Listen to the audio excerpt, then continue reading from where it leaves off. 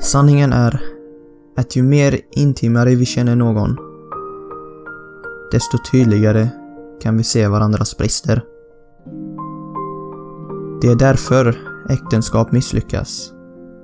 Varför barn blir övergivna. Varför vänskap inte består. Du kanske tror att du älskar någon ända tills du ser hur de agerar när de är fattiga, hungriga, under någon form av belastning, arga eller irriterade.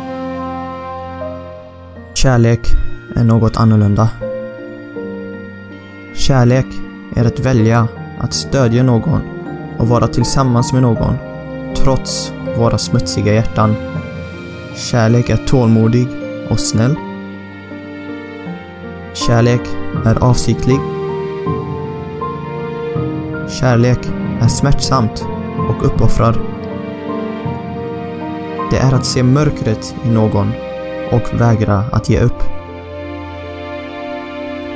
Kärlek är att finna kraften att motstå oddsen och kämpa tillsammans för att övervinna alla hinder.